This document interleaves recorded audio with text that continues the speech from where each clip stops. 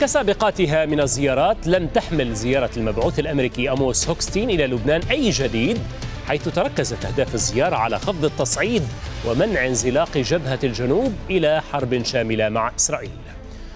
وخلال محادثاته في بيروت شدد هوكستين على أن وقف إطلاق النار في غزة مقدمة للحل في لبنان مؤكدا جدية الولايات المتحدة في التوصل إلى اتفاق للتهدئة في غزة. مشيرا إلى أن واشنطن تضغط على إسرائيل مقابل ضغط مصر وقطر على حماس للموافقة على إتمام صفقة التبادل. كسابقاتها لم تحدث زيارة المبعوث الأمريكي آموس هوكستن إلى لبنان أي اختراق. مصادر لسكاي نيوز عربية صرحت أن هوكستن لم يحمل جديدا لبيروت في زيارته غير آماله بتجنب توسع الصراع بين حزب الله وإسرائيل.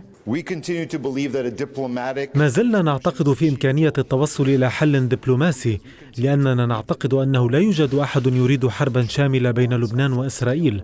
أجريت مباحثات بناءة حول الوضع في لبنان والحاجة لتهدئة التوتر حول الخط الأزرق وفي المنطقة بشكل عام.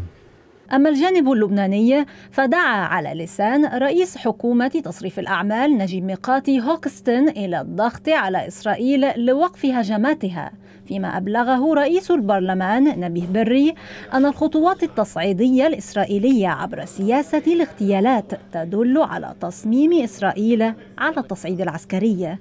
ورغم عدم تمكن هوكستن من إحراز تقدم حاليا فإنه على الأقل وضع تصوراته لمنع الانزلاق إلى سيناريو الحرب الشاملة. في مقدمتها محاذير متعلقة بضرورة حصر الهجمات المتبادلة في نطاق جغرافي معين. ما يتماشى مع الدعوات الأمريكية المتكررة لإسرائيل بتجنب توجيه ضربات لبيروت. كما ربط هوكستن الأزمة بما يحدث في غزة مؤكدا أن إنهاء الحرب في القطاع يعد مقدمة للحل في لبنان. وعليها. قال هوكستن إن إدارة الرئيس الأمريكي جو بايدن تعمل على صياغة اتفاق لوقف إطلاق النار في غزة بشكل عاجل. يعمل الرئيس بايدن بلا كلل من أجل تسوية دبلوماسية بما في ذلك التوصل لاتفاق بشكل عاجل لوقف إطلاق النار وإطلاق سراح المحتجزين وطلب مني العودة إلى لبنان قبل الجولة الجديدة من مباحثات وقف إطلاق النار هذا الأسبوع. لا يوجد المزيد من الوقت لتضييعه ولا توجد أعذار لأي طرف لأي تأخير أو تأجيل لعقد الاتفاق. رؤية هوكستن ذاتها موضع خلاف إسرائيلي إذ ترفض تل أبيب أساسا الربط بين ما يحدث في غزة والأوضاع على الحدود مع حزب الله كما أنها سبق وتجاهلت التحذيرات الأمريكية بشأن المحدودية الجغرافية لهجماتها. أما حزب الله فيواصل تهديداته ويوجه صواريخه أكثر صوب العمق الإسرائيلي لكن ضمن ضوابط لا تؤدي إلى حرب واسعة. معنا من بيروت الكاتب والباحث السياسي فيصل عبد الساتر ومن واشنطن مساعد وزير الخارجية الأمريكي الأسبق لشؤون الشرق الأدنى دايفيد شينكر. مرحبا بكم ضيفي أبدأ معك أستاذ فيصل.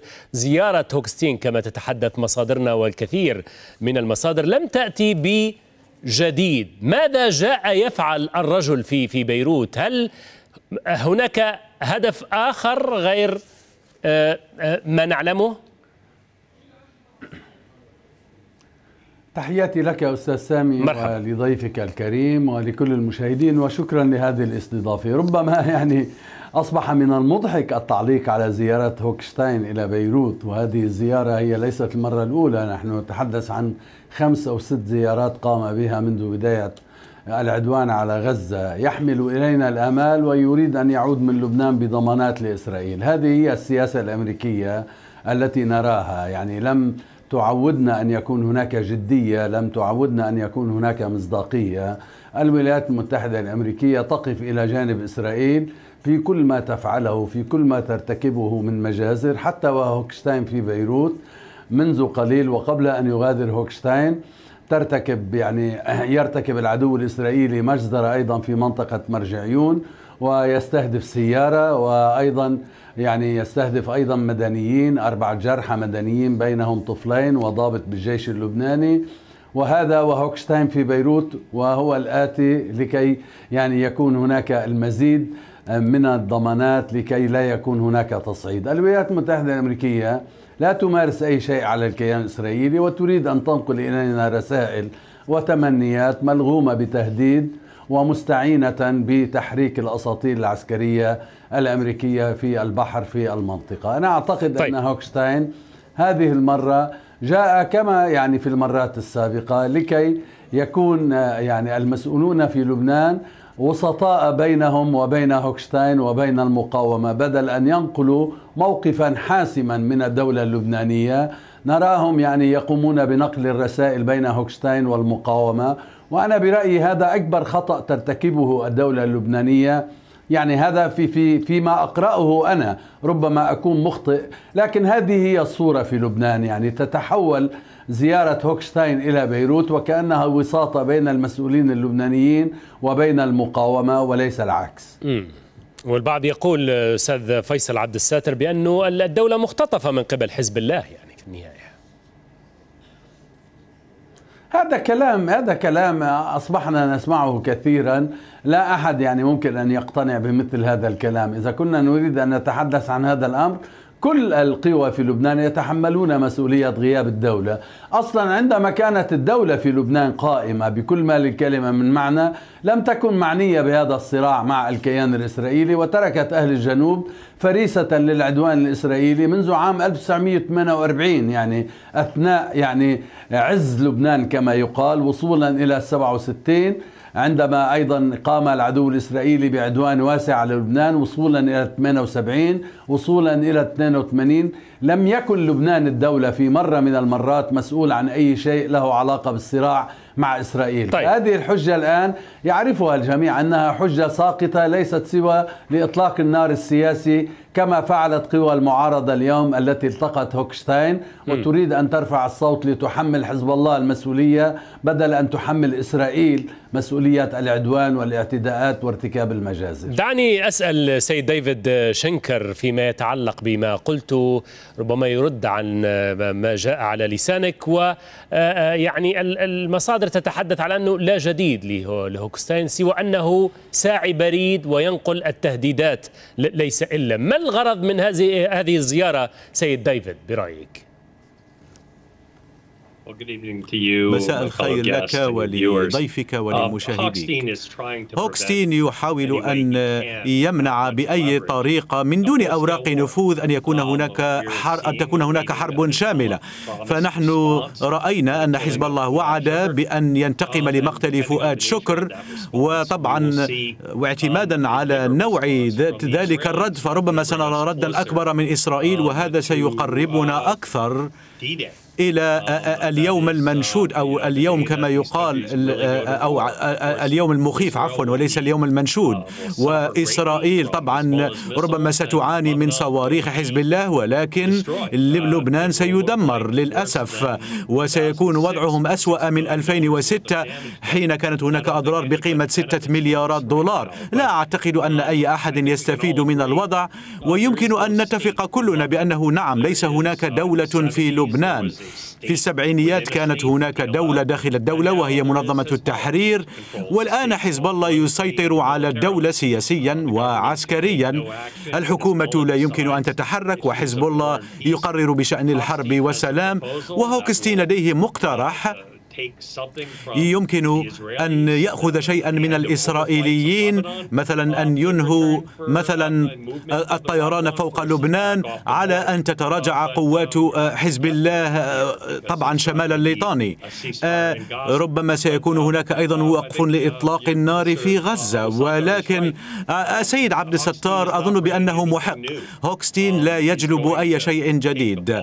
فهو فقط سيجس النبض ويذكر الناس بشأن المستقبل القاتم لو أن حزب الله آه، وفى بوعده وانتقم. هو ذكرهم بالفعل سيد ديفيد المبعوث الأمريكي للبنان في تصريحاته قال أعتقد أن بمقدور إسرائيل وحزب الله تجنب هذه آه، الحرب. هل آه، هو صادق فيما يذهب إليه سيد عبد الساتر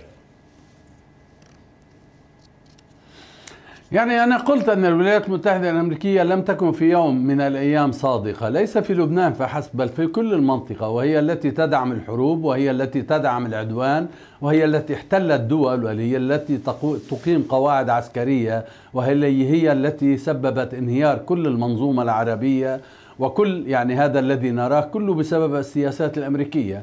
وها نحن أيضا في روسيا وأوكرانيا نشهد المزيد من هذا التغول وحب الانتقام من قبل الأمريكيين ودعمهم للحروب. يعني لو لو أردنا أن نجمع فقط المليارات مليارات الدولارات التي أنفقتها الولايات المتحدة الأمريكية منذ بداية الحرب الروسية الأوكرانية ومنذ بداية العدوان على غزة لإسرائيل ولأوكرانيا. هذه المليارات وهذه الأسلحة وهذه آه، يعني هذا النوع الكبير من الدعم لكان يعني ربما آه، ساهم في إعمار كل البلاد العربية وكل البلاد التي ضربتها الحروب. لكن أمريكا شهيتها لا يمكن أن تكون إلا على الحروب. أعود إلى هوكشتاين. هوكشتاين بنفسه قال ليس لدينا المزيد من الوقت لكي نضيعه.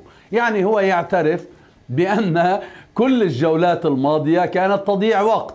فلماذا الآن يريد أن يغير من هذه العادة التي تعودنا عليها من الأمريكيين؟ طيب أستاذ عبد الساتر؟ ثم ثانيا ما جاء على لسان الأستاذ شنكر ما جاء على لسان الأستاذ شنكر الأستاذ شنكر ربما يعني على قاعدة يعني ما قاله الإمام علي عليه السلام ما ضمر امرئ من شيء إلا ظهر في فلتات لسانه.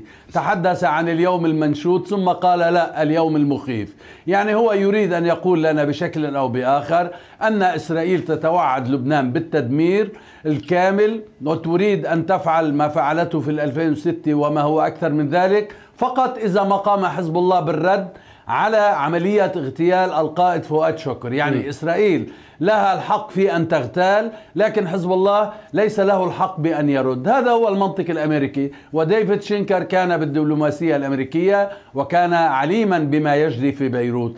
أما حديثه عن دولة داخل الدولة نسأله ما الذي تفعله السفارة الأمريكية في لبنان وما الذي تفعله القوات الأمريكية في مطار حماة في الشمال اللبناني؟ هل هذا جزء من دعم أمريكا للدولة وأن يكون هناك دولة في لبنان؟ طيب. أم أن أمريكا أيضا تساهم في اختطاف الدولة على ما يدعيه سيد ديفيد ما رأيك في هذا الكلام؟ يعني يقول لك ضيفي بأنه لا لإسرائيل الحق أن تغتال لكن لا يحق لحزب الله وحتى لإيران أن ترد سواء على اغتيال فؤاد شكر أو اغتيال إسماعيل هنية. أي ازدواجية هذه كما يقول لك الضيف. نعم في حالة لبنان لا أحد طلب من لبنان أن يبدأ بإطلاق النار على إسرائيل.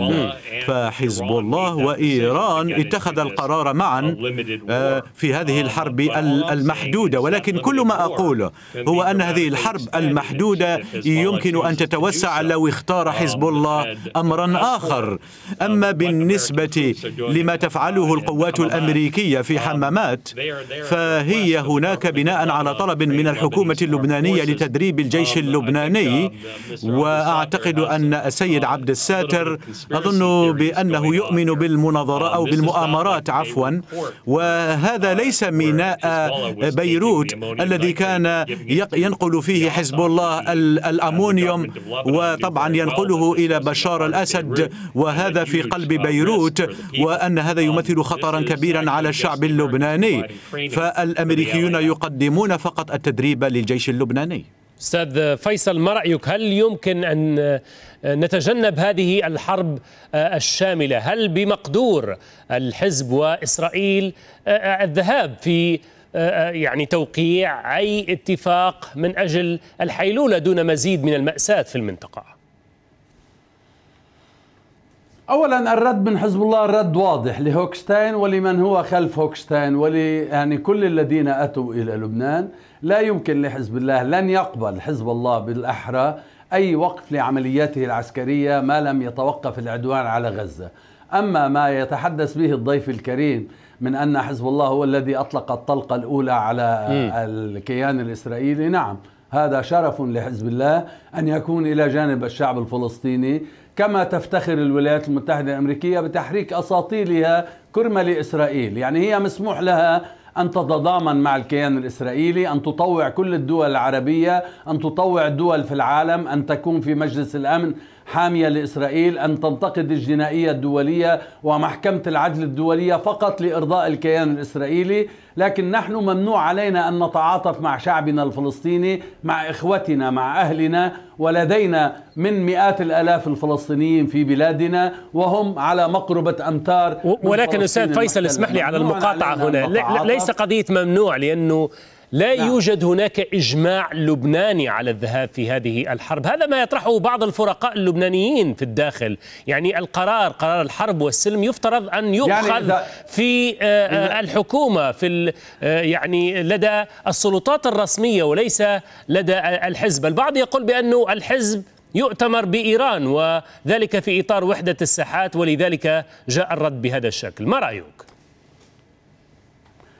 اولا إذا أردت أن تنتظر الإجماع اللبناني فمن اللبنانيين من كانوا مع إسرائيل ومن كانوا جزء من العمالة لإسرائيل وقاتلوا مع إسرائيل وحاربوا إخوانهم في لبنان وارتكبوا المجازر مع العدو الإسرائيلي ضد إخوانهم اللبنانيين وضد الفلسطينيين، نحن اليوم في ذكرى مجزرة تل الزعتر الرهيبة التي ارتكبتها قوات لبنانية وكتائب لبنانية في حق الشعب الفلسطيني، اليوم هؤلاء يظهرون تعاطفا كتعاطف يعني دموع التماسيح مع الشعب الفلسطيني فقط لأن حزب الله أعلن وقوفه إلى جانب الشعب الفلسطيني. يرفعون الأصوات لكي يقولوا أن هناك جزء من اللبنانيين ضد الحرب. نحن لم نقل أن كل اللبنانيين مع الحرب وهذا أمر طبيعي. نعم. لكن أن يكون لهؤلاء الآن الصوت في حين أن كل البيانات الوزارية وكل يعني البيانات الحكومية أعطت للمقاومة حق أن تكون المدافع عن لبنان والحامي عن سيادة لبنان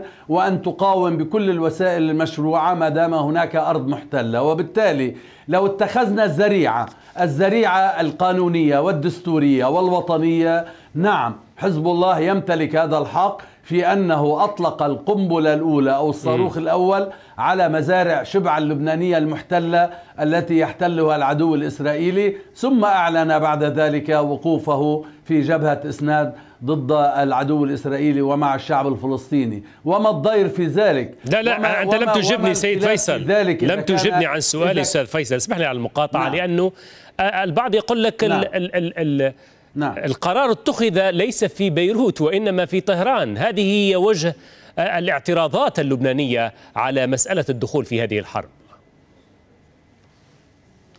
شوف يعني هذه نغمة يعني نسمعها يعني بكرة إذا إذا إذا إذا إيران أرجأت الرد وإذا إيران ربما دخلت في مساواة سأفترض سأفترض أن إيران دخلت في مساومة وسأفترض أن إيران أرجأت الرد لما بعد المفاوضات. هل هذا يلزم حزب الله؟ إذا كان حزب الله يأتمر بأوامر إيران فعلى حزب الله أيضا أن يعطي ضمانات لهوكشتاين من خلال الوسطاء يعني من خلال الدولة اللبنانية ويقول أنه لا يريد الرد لأن إيران ممكن أن ترجئ الرد. هذا كلام سمعناه كثيرا.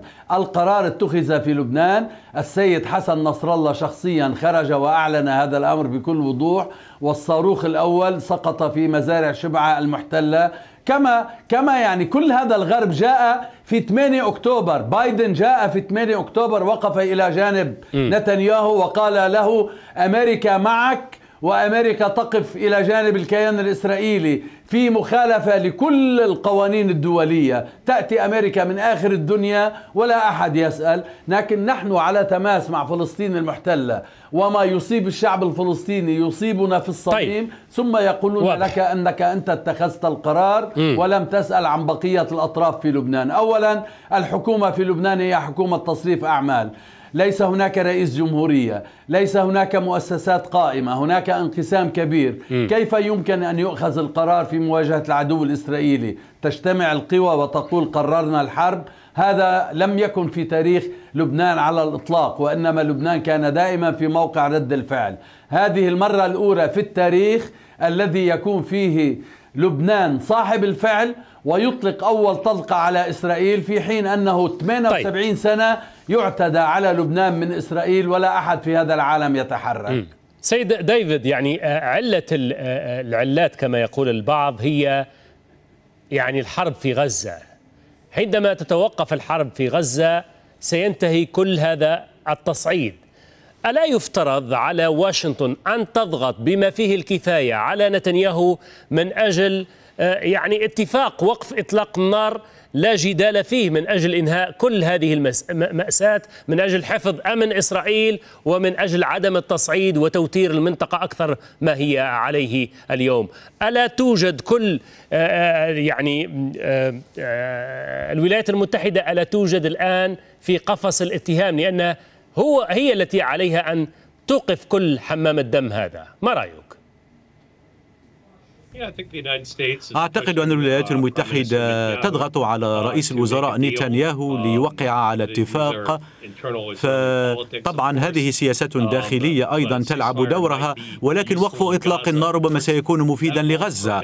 وطبعا هذا ربما لن يمنع تدهور ال ال ال الوضع بين حزب الله وإسرائيل. ربما هوكستين سيتوصل إلى شيء ولكن حزب الله عليه أن يوافق على نقل العشرة آلاف من قوات الرضوان بالقرب من حدود إسرائيل على بعد سبعة كيلومترات.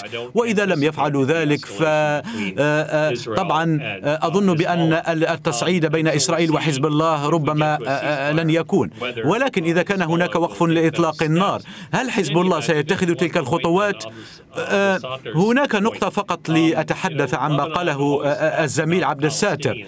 هم يتحدثون دائما عن الفلسطينيين. أعتقد أن كل الدول العربية ربما أظن بأن هم عملوا بطريقة سيئة جدا. فهناك مئات الآلاف منهم وليس لديهم الحق في في الامتلاك ولا العمل. والعديد يعتقدون بأن اللبنانيين يحبون القضية الفلسطينية ولكنهم يكرهون الفلسطينيين. ولكن حزب الله هو الحاكم في لبنان الآن.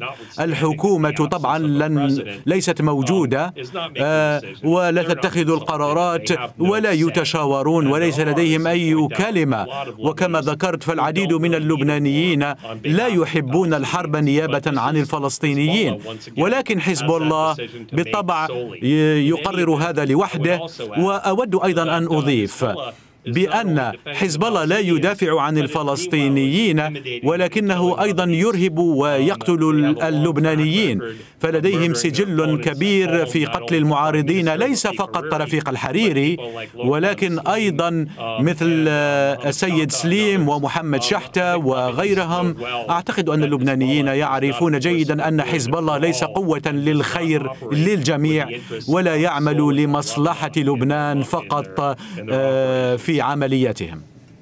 تعليق في أقل من دقيقة أستاذ فيصل باختصار لأنه انتهى البرنامج. أقل من 30 ثانية كما يشير المخرج.